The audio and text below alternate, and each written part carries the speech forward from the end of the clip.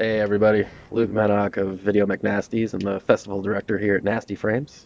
I, uh, I want to thank you from the bottom of my heart and on behalf of everybody here at Nasty Frames for supporting us this year. It's been a fucking crazy year, it almost didn't happen.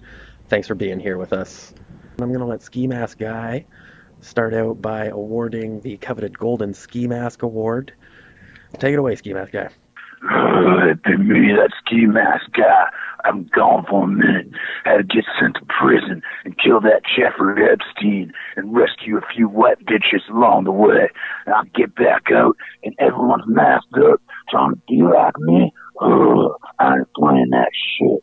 I did see one thing I liked though. It called that minister. Made me laugh. Give me a warm feeling in the center of my tummy. Ugh.